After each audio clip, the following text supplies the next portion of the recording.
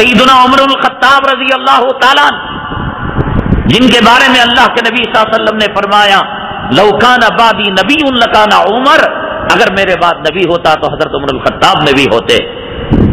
इंतकाल के दिन करीब आ गए, मरजुल वफात में थे।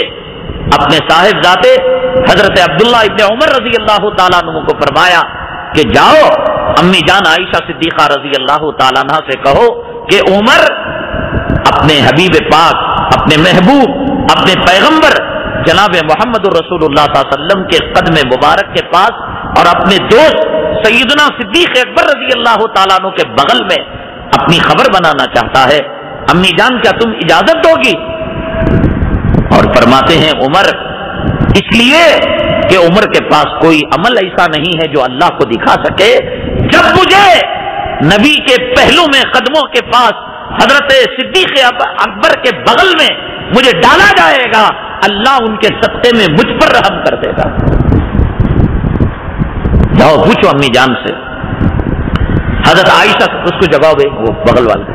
हज़रत आयशा सिद्दीका रज़ी अल्लाह तला ने फरमाया, हीरोइन आको नाची तो कैसा दीदे दाल को देखती इल्म आन से भी आता है, इल्म कान से भी आता है, इल्म दिल के तवज्जो से भी आता है।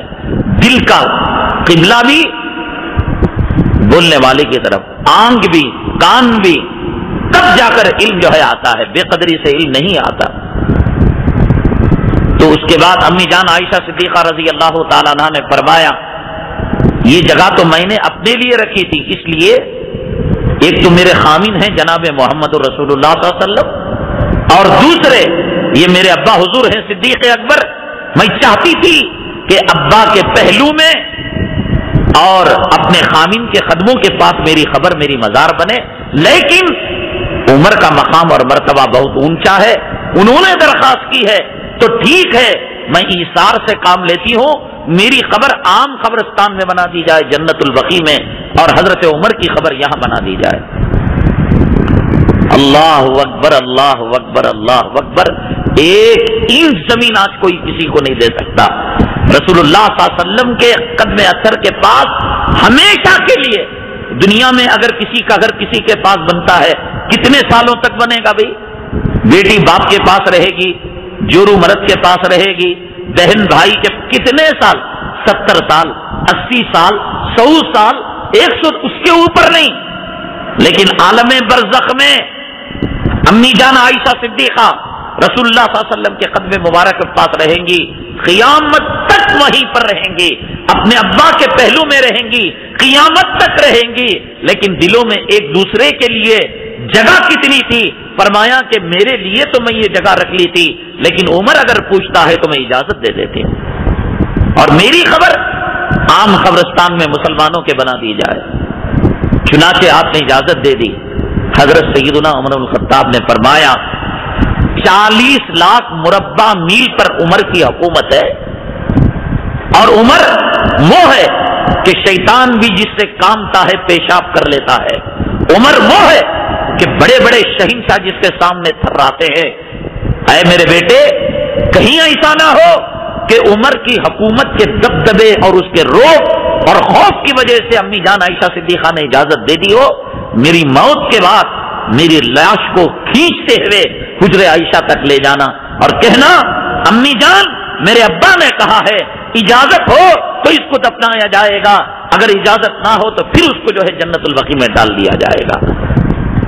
अम्मी जान आयशा सिद्दीका रज़ी अल्लाह तला ने कहा, मोमिन की ज़ुबान मोमिन की होती है। मैंने एक मरतबा इजाज़त दे दी।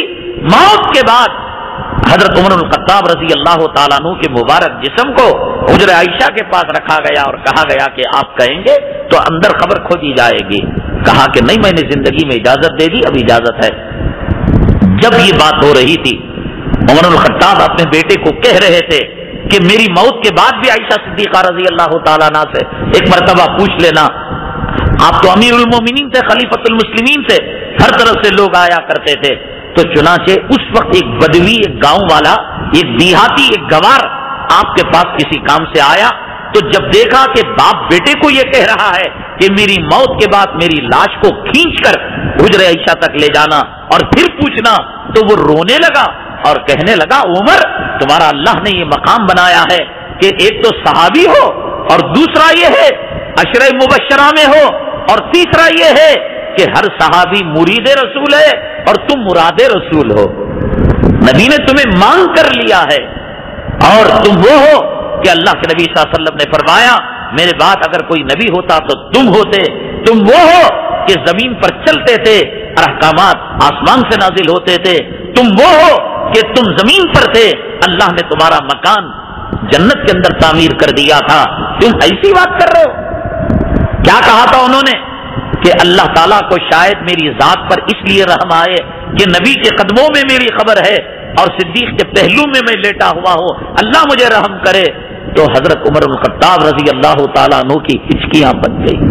आँखों से आँसू के कतरे बहने लगे। जारो कतार रोने लगे।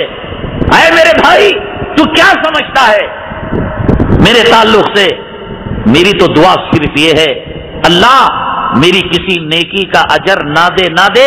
लेकिन कम से कम अल्लाह का बड़ा एहसान होगा कि अल्लाह मेरी किसी गुनाह पर मुआखजा भी ना करे, पकड़ भी ना करे। ये वो तकवा था, ये वो दिलों का खौफ था जो अल्लाह के नबी वसल्लम ने सहाबा की तरबियत फरमाई थी। कपड़ों को देखते, नमाज़ को देखते, रोज़े को देखते, शहरी को देखते, इफ्तार